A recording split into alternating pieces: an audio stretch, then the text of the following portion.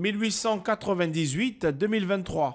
125 ans que l'évangile règne sur le littoral ivoirien. Une longévité célébrée au sein de la paroisse Saint-Pierre de Jacquesville. La messe d'action de grâce a été officiée par l'évêque du diocèse de Yopougon, Monseigneur Jean-Salomon Lesoutier. Et donc, euh, on ne peut pas quantifier en quelques mots ce que euh, l'Évangile a apporté avec euh, les missionnaires.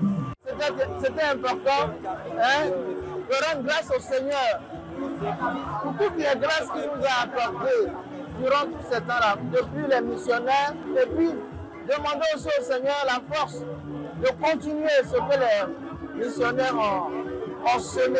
La résilience de la foi, l'impact positif sur la société et la construction d'une communauté unie.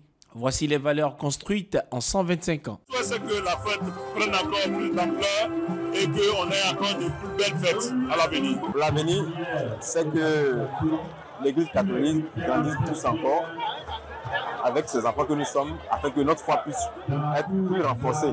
Au cours de la messe, les différentes paroisses ont effectué leurs offrandes. La prochaine célébration est prévue à la paroisse Saint-Michel-Archange d'Ada.